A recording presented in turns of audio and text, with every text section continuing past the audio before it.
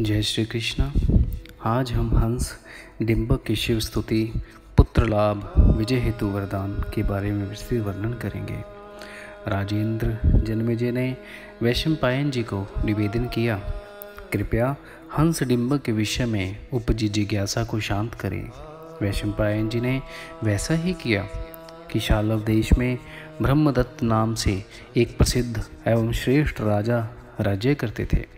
वे बहुत दयालु धर्मपरायण तो थे ही। वह सदा पंच यज्ञों का अनुष्ठान भी करवाते थे।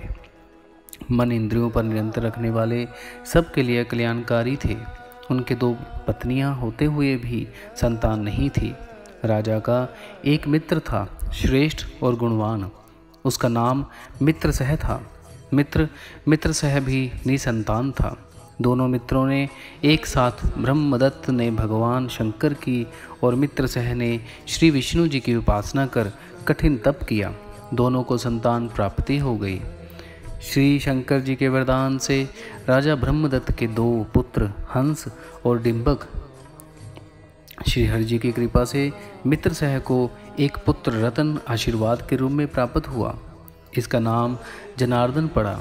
दोनों मित्रों ने ही अपने अपने पुत्रों के जात कर्म बड़े चाव उत्साह से किए। दोनों मित्रों के तीनों ही पुत्र बड़े रूपवान और सम व्यसक थे। एक दूसरे के प्रति मित्र भाव रखते थे। तीनों कुमार वेद शास्त्रों, नीति शास्त्रों तथा शास्त्र विद्या के अध्ययन करके उत्तम कोटि के विद्वान सिद्ध हुए। अध्ययन काल के पश्चात हंस और डिम्बक दोनों भाई हिमालय में जाकर भगवान शंकर के नाम तप करने लगे। मात्र जल और वायु का आचमन करते हुए दोनों एकाग्र, स्थिर चित्त एवं संयत चित्त हो मन में संकल्प लिए थे कि हमें दिव्य पराक्रम और अजयास्त्र प्राप्त हो। दोनों उमापति की प्रसन्नता हेतु सानंद तप में रत रहते। भगवान शिव की स्तुति इस प्रकार करते, हे देवादिदेव, शंकर, हे शर्व शिवानंद नीलग्रीव, उमापते, वृषुभ, ध्वज, वीरूपाक्ष, हरक्ष, जगतपते भक्त प्रिय गिरीश, ईश, वासुदेव, शिव, अच्युत, संयोगजात, महादेव देव देव अंतर्यामी रूप, से हृदय गुहा में शयन करने वाले भूत भावन, देवेश्वर ओमकार स्वरूप सदा शिव आपको नमस्कार है।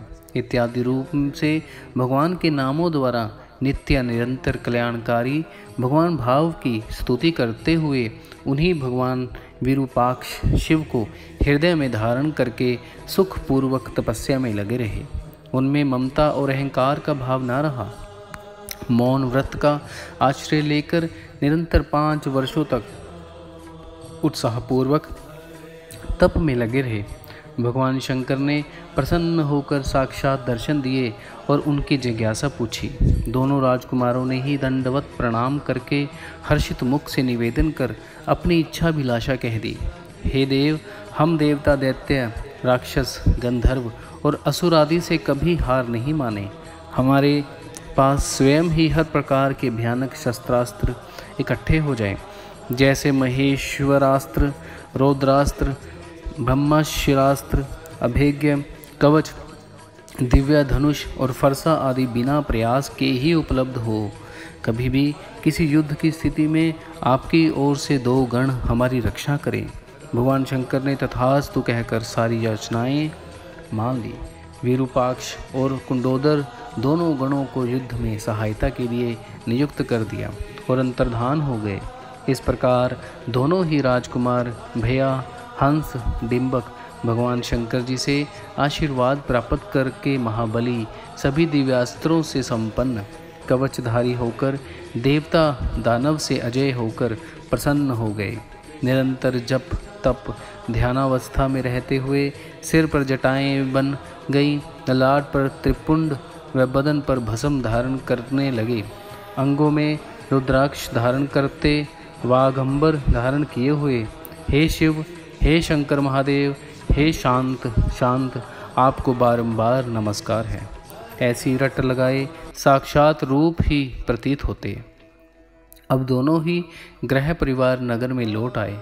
माता पिता के चरणों में शीश रखकर उनकी स्तुति अर्चना की। उधर जनार्दन भी पिताम्बरधारी श्री विष्णु की मनोयोग से उपासना कर ब्रह्म तत्व का ज्ञाता हो गया। समय से तीनों फिर एक साथ मित्र भाव से रहते। तीनों की शादी हो गई। तीनों ही धार्मिक कार्यों के अनुष्ठान में लगे रहते। सबके सब धर्म को ही परम कल्याणकारी मानने वाले आज्ञाकारी बने। यज्ञ कार्यों में तत्पर और गुरुजनों की सेवा हित पत्नियों से अनुरक्त रहते। आइए, अब हम हंस और डिब्बक और महर्षि दुर्वासा आश्रम की कृष्ण द्वारा सांत्वना के बारे में विस्तृत वर्णन करते हैं। वैश्व पायन जी ने कहा, जन्मेजय, उस समय धर्मात्मा, जनार्दन, हंस और डिम्बक तीनों ने ही महर्षि कश्यप के आश्रम में यज्ञ क्षेत्र में पहुंचकर नमस्कार किया। वहाँ पर उपस्थित शिष्यों ने इन तपस्वियों को योग्य सम्मान देकर उचित आसन पर बिठाया। तत्पश्चात वाणी पर संयम रखने वाले हंस ने मुनियों से निवेदन किया, श्रेष्ठ मुनिगण, हमारे पिताजी साधनों सहित राजसूय यज्ञ करने वाले करवाने की इच्छा रखते हैं। अतः यहाँ पर उस आश्रम में चल रहे यज्ञ स्तर के पश्चात आप सब हमारे घाप धारने की कृपा कीजिए। और यज्ञ के समस्त उपकरण लेकर आवे। हमने कैलाशवासी महादेव जी से सब प्रयास, वरदान प्राप्त कर लिया। हम किसी भी शत्रु समूह से अजय हैं। हमारे पास नाना प्रकार के दिव्यास्त्र हैं। इन अचूक दिव्यास्त्रों के होते देवता दानव हमारा सामना नहीं कर सकेंगे। साधारण राजाओं की तो हिम्मत ही क्या है? अतः ऐसा कोई भी शत्रु नहीं है जो हमें परास्त कर सके। हंस डिम्बक को मुनियों ने यज्ञ में पहुँचने का आश्वासन देकर विदा किया। तीनों राजकुमार, हंस डिम्बक और जनार्दन वहाँ से पुष्कर क्षेत्र के उत्तरी किनारे पर स्थित महर्षि दुर्वासा जी के आश्रम में आ पहुँचे। वहाँ पर महर्षि और उनके शिष्य भी उपस्थित थे। उनमें ममता और अहंकार का नितांत अभाव था। महर्षि दुर्वासा जी वहाँ सदा वेद, निरत लोक हित के आकांक्षी, कोपिनधारी जितेंद्रिय अहंकार को त्याग कर शांत, शुभ, अक्षर, सर्वतोन्मुख, वेदांत, मूर्ति, अव्यक्त, शाश्वत, शिव, नित्ययुक्त, विरूपाक्ष, मूल भूताधार, अनाम्य भगवान विष्णु की आराधना में व्यस्त रहते थे। निसंदेह महर्षि दुर्वासा भीषण क्रोध की साक्षात मूर्ति थे। उनमें अपनी क्रोधाग्नि से तीनों लोकों को भस्म कर देने की क्षमता थी। उनकी कुपीतावस्था होने पर भी देवता भी उनके सम्मुख जाने का साहस नहीं जुटा पाते थे। वे प्राय गोरुओं गोरुए रंग का कोपिन वस्त्र धारण करते थे। उनका दर्शन कर दोनों राजकुमारों ने कहा, यह कौन महाभूत है जो वर्ण व्यवस्था के विपरीत आचरण कर इस आश्रम में आसीन है? इसको तो गृहस्थाश्रम में होना चाहिए था। अवश्य ही यह किसी दुराग्रह से ग्रहित होगा। हम इन समस्त मंद बुद्धि द्विजों को जो मूढ़ ज्ञान में तत्पर हैं, बलपूर्वक गृहस्थ आश्रम स्थापित करेंगे। हम आए हैं तो निश्चय ही ऐसे पाखंडी लोगों को सही मार्गदर्शन देकर ही संतोष पूर्वक लौटेंगे। वास्तव में गृहस्थ आश्रम ही धर्मात्मा, धर्मविद धर्म रूप और प्रधान वर्ण है। यह वर्ण सभी प्राणियों को माता स्वरूप पालन करने वाला है। अतः जो इस श्रेष्ठ आश्रम को त्याग कर अन्य आश्रम को स्वीकार करता है। वह महामूर्ख है। वह तपस्वी नहीं है। आश्रम के भीतर जाकर तीनों जनार्दन हंस और डिम्बक तपस्वी दुर्वासा के पास जाकर उनको व उनके शिष्यों को क्रोधपूर्ण नेत्रों से देखने लगे, जैसे वह इन सबको निगल जाना चाहते हैं। हंस डिम्बक बोले, हे ब्राह्मणों, आपने उत्तम गृहस्थ आश्रम को त्याग कर यह कौन से आश्रम को अपना रखा है? यह तप नहीं है, पखंड मात्र है। आपका यह कर्म लोगों को अहित करने वाला है। आप लोग इस दुष्कर्म से पाप के भागी बनोगे। स्वयं तो नष्ट होंगे ही, अन्य लोगों का भी नाश करोगे। क्या आज तक आपको किसी ने मना नहीं किया? इस मार्ग से निश्चय ही किसी दुष्ट व्यक्ति ने आप लोगों को भ्रष्ट करके इस ओर धकेला होगा। जाओ, इस आडंबर को त्याग कर गृहस्थी बनो। और पंच यज्ञ करके सुख स्वर्ग को प्राप्त करो। हंस डिम्बक के इन कड़वे कुशेले वचनों को सुनकर ब्राह्मण जनार्दन की स्थिति विचित्र हो गई। वह मारे भय से कांपने लगा।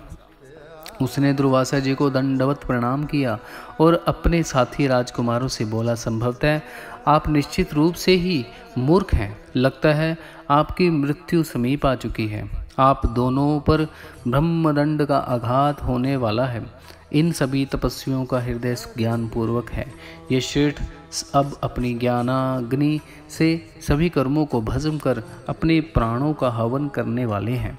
हमारे पूर्व के ऋषि मुनियों ने समाज में मनुष्य के लिए चार वर्णों, आश्रमों का विभाजन किया। ब्रह्मचार्य आश्रम गृहस्थाश्रम, संन्यासाश्रम और वाना प्रस्थाश्रम इन चारों आश्रमों में संन्यासाश्रम ही सर्वोत्तम आश्रम है। इस आश्रम में जीवन व्यतीत करने वाले मनुष्य बुद्धिमान एवं पुण्यात्मा धर्मात्मा होते हैं। अब दोनों में बुद्धों, वृद्धों के प्रति सेवा भावना नहीं है। इस प्रकार का श्रेष्ठ ज्ञान आपको नहीं है। तभी आप दोनों ने इस प्रकार के अनिष्टकारी वचन बोलते हैं। और मित्रों, मेरी बात भी सुन लीजिए। मैं निश्चय पूर्वक कहता हूँ कि यदि अपने पुनः इसी प्रकार के वचनों के को दोहराया तो मैं पर्वत से कूदकर अथवा भयंकर विषपान करके या समुद्र में कूद कर अपने आपके सामने ही अपनी यह लीला समाप्त कर लूँगा।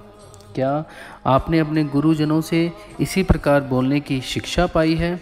हमारी मित्रता के कारण ही आज मुझे आपके श्रीमुख से ऐसे दुष्ट वचन सुनकर लज्जा का सामना करना पड़ता है। अब ऐसी कष्टकारी वाणी मत दोहराएँ। इस प्रकार कहता हुआ ब्राह्मण श्रेष्ठ जनार्दन आत्मगलानी से भर गया। तदंतर क्रोध में भरे दुर्वासा जी ने रौद्र अग्नि से युक्त एक नेत्र में रोण उन राजकुमारों को इस प्रकार देखा, मानो उन्हें जलाकर भस्म कर देंगे। उनकी इंद्रियाँ रोज से व्याकुल हो रही थी। दूसरे नेत्र से सौम्य भाव उस जनार्दन को देख रहे थे।